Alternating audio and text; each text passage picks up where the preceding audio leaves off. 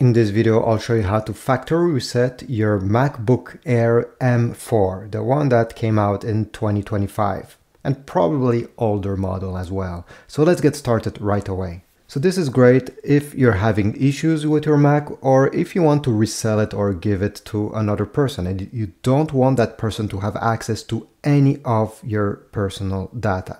So the first thing we need to do is to go on the top left corner, click on the Apple logo and click System Settings.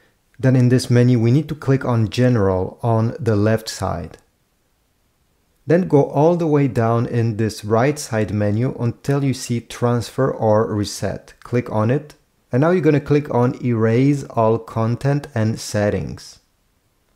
They will ask you to input the password of this Mac.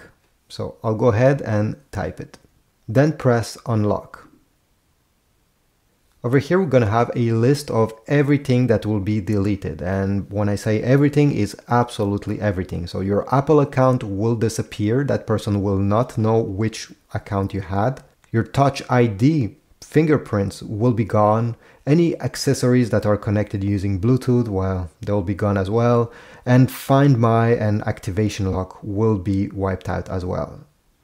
So press continue and now it's time to sign out from your Apple account. So just go ahead and type the password. This is the password of your Apple account, not the password of your MacBook. Press continue. Next step, you'll have to re-enter your Apple account password to deactivate Find My and press continue. Now check any other Apple device that you have. If you have an iPhone, go ahead, open your iPhone. If you have an, just an iPad, open your iPad or your older Mac and on the screen, press allow. And then you're going to have a code that you need to type on this MacBook.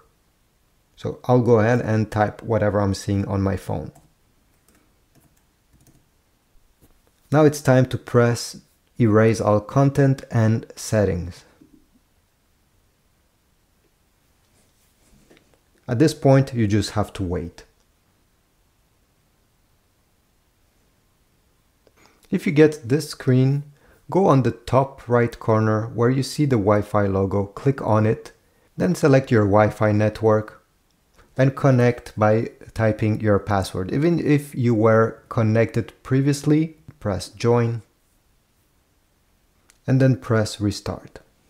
And finally you'll get the setup screen that you need to press anywhere on the screen and start setting up your new MacBook again or it's time to resell it because all your data has been wiped out. Thanks for watching, please leave a like, subscribe, and I'll see you in the next video.